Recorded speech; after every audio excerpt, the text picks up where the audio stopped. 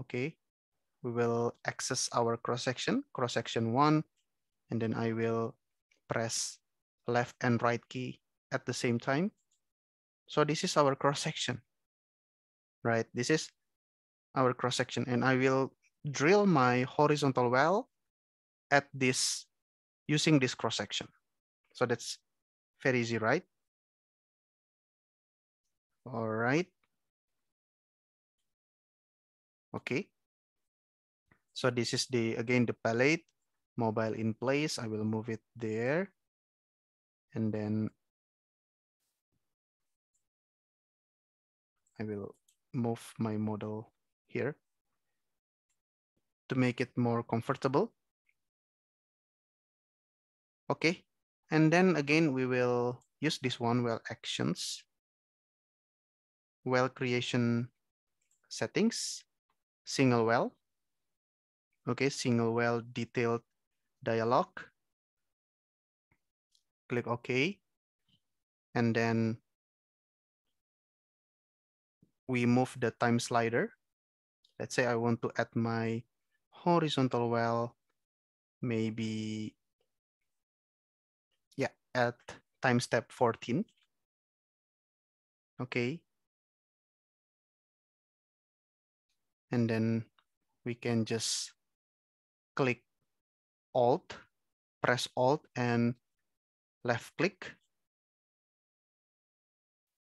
Okay. So we will have this one.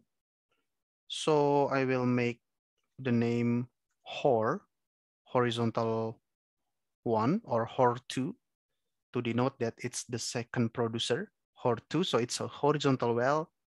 The, the number of the product production well, it's the second producer. So HOR2, okay?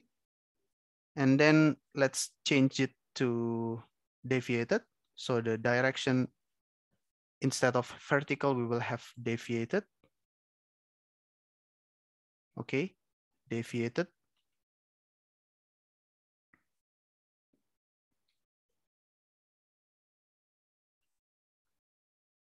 All right. And then after that, we can just maximize first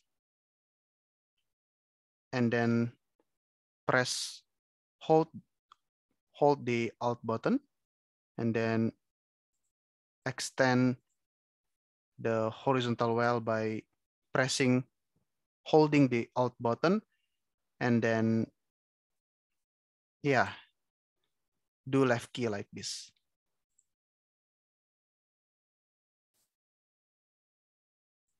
Okay. And you see, we will have this ID and then state it's I want to open all the layers. This is the location of the grid, X block, Y block, and Z block. Productivity index one, but let's say I want to improve the productivity index, let's say to be two.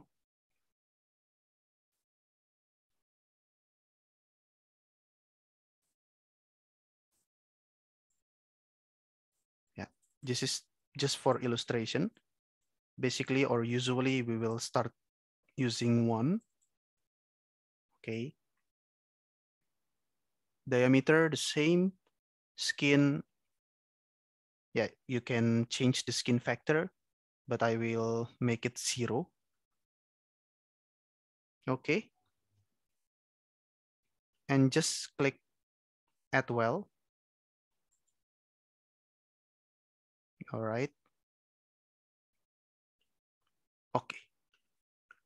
So it's very easy. We can go back to our 2D view from sum, like this one. And you see our horizontal well is there. And then let's just click run calculation. And let's observe the change in mobile in place, mobile oil in place.